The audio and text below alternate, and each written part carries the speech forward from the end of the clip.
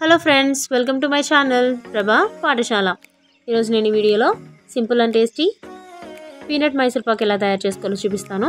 దానికంటే ముందు ఎవరైనా ఛానల్ని ఫస్ట్ టైం విజిట్ చేస్తుంటే ప్లీజ్ సబ్స్క్రైబ్ మై ఛానల్. ఈ పీనట్ మైసూర్ పాక్ టేస్టీయే కాదు హెల్దీ కూడా. తప్పకుండా ట్రై చేయండి. ఇప్పుడు దీని ప్రాసెస్ ఏంటో చూసేద్దాం. ఫస్ట్ దీనికోసం ఒక ప్యాన్లో నేను చూపిస్తున్న కప్తో two and half cups peanuts తీసుకోవాలి.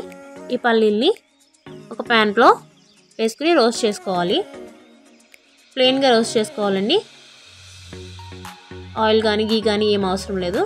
జస్ట్ ప్లెయిన్గా రోస్ట్ చేసుకుని వీటిపైన ఉన్న పొట్టంతా ఉడిపోయేలా రోస్ట్ చేసుకోవాలి. నెక్స్ట్ వీటిని ఒక పొలంలో వేసుకుని హ్యాండ్స్ రబ్ చేస్తే మనకి పైన ఉన్న పొట్టంతా వచ్చేస్తుంది.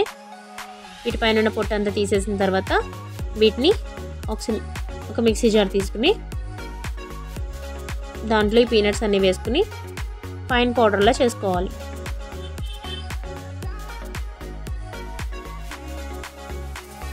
వీటిని ఇలా పౌడర్లా చేసుకున్న తర్వాత వీటిని ఒక ప్లేట్లో వేసుకుని దీంట్లో one packet milk powder add చేసుకోండి. నేను ఇక్కడ ఒక ten rupees packet milk powder తీసుకున్నాను. వన్ ప్యాకెట్ సరిపోతుంది. ఈ ప్యాకెట్ మిల్క్ పౌడర్ వేసుకున్న తర్వాత వీటి రెండింటిని మిక్స్ చేసి పక్కన పెట్టుకోవాలి. నెక్స్ట్ ఒక ప్యాన్లో రెండు కప్పులు బెల్లం తీసుకుని ఒక కప్పు వాటర్ తీసుకోండి. రెండు కప్పులు బెల్లానికి ఒక కప్పు వాటర్ సరిపోతుంది. వాటర్ వేసుకుని తీగ పాకం వచ్చేంత వరకు వీటిని బాయిల్ చేసుకోవాలి. జనరల్గా మనం మైసూర్ పాక్ అనేది శనగపిండి పంచదారతో చేస్తారు. రెండు మనకి హెల్త్కి అంత మంచిది కాదు. దీన్ని మనం బెల్లం అలాగే పల్లీలతో చేస్తున్నాం. దీంట్లో మంచి ఐరన్ ఫుడ్. ఇది హెల్త్కి చాలా మంచిది. తప్పకుండా ట్రై చేయండి. దీంట్లో వన్ స్పూన్ యాలకుల పొడి వేసుకోవాలి.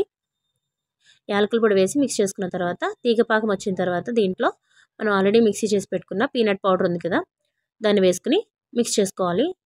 ఇదంతా బాగా కలిసిన తర్వాత ఇది ప్యాన్ నుంచి సెపరేట్ అయిపోయే టైంలో దీంట్లో ఒక హాఫ్ కప్ గీ వేసుకోండి. గీ వేసుకుని మొత్తం మిక్స్ చేసుకున్న తర్వాత ఒక ప్లేట్కి కొంచెం నెయ్యి రాసి దాంట్లో వేడిగా ఉన్న ఈ పీనట్ మిక్చర్ని దాంట్లో ట్రాన్స్ఫర్ చేసుకోండి.